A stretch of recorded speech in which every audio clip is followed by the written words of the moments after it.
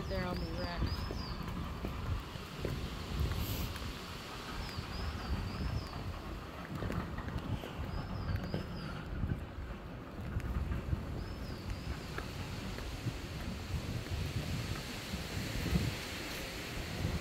Are we going down to the bottom?